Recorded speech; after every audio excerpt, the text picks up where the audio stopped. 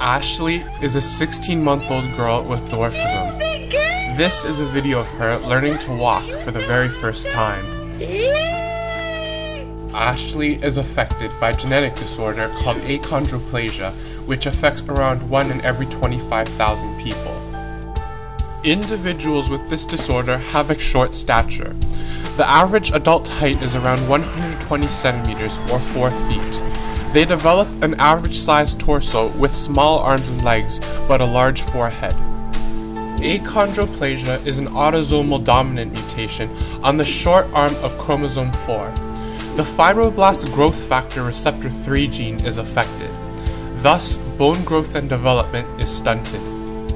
Normally, cell membranes filter the substances that enter or exit a cell through the use of hundreds of different types of receptors.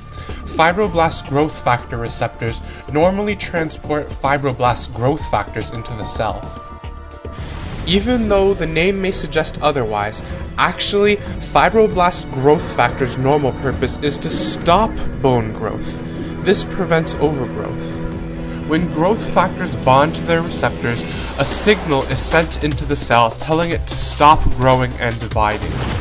However, with mutations, FGFR3 molecules become overactive, transmitting signals into the cell even when no FGFs are bound to them. This causes growth plate development to become inhibited.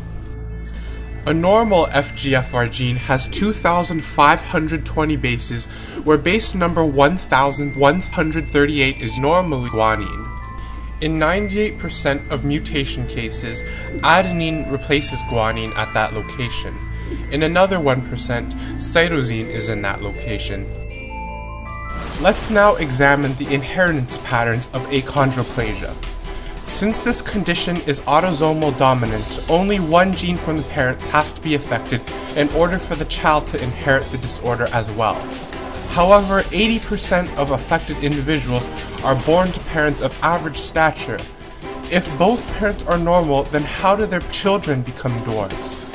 In these children, their disorder is caused by a new mutation, where the inherited trait doesn't come from either parent. If a child homozygous for achondroplasia is produced, the child will die shortly after birth,